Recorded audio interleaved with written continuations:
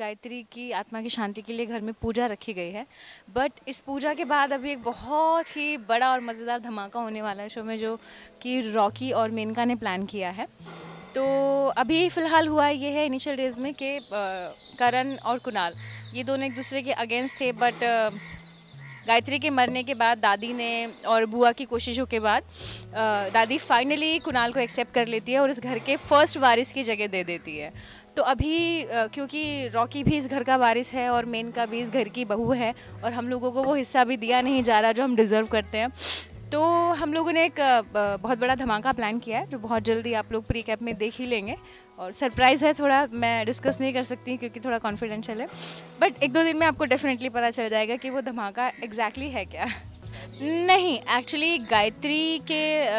मौत में गायत्री की जो डेथ हुई है, उसमें किसी का कोई पर्पज़ नहीं था। वो घर में आती है, सीढ़ियों से फिसलती है और मर जाती है। इनफैक्ट दादी बुआ जब से घर में आई हैं तो दादी सोच रही हैं रात दिन की किसी भी तरह से काव्या और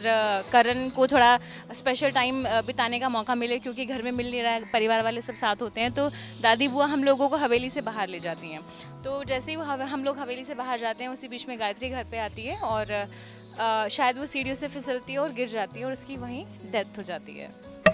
हाँ उस सीन के बाद, गायत्री की मौत के बाद करण और कुणाल बेसिकली एक हो गए हैं और करण ने भी कुणाल को एज ब्रदर एक्सेप्ट कर लिया है और दादी ने घर के फ़र्स्ट वारिस की जगह कुणाल को दे दी है।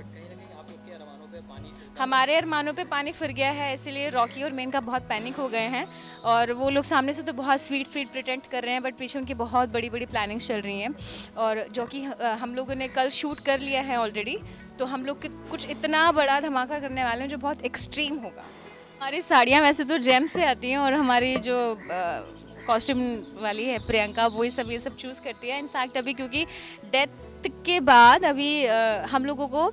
थोड़ी सी फीकी साड़ियाँ दी गई हैं मतलब थोड़ा चटक मटक कम किया गया है, सिंपल लुक दिया है, ज़्यादा मेकअप नहीं, क्योंकि जस्ट घर में मौत हुई और वो शांति पाठ हो रहा है तो थोड़ा सिंपल रखा गया है, बट ये सिंपल भी आपको अच्छा लग रहा है तो थैंक यू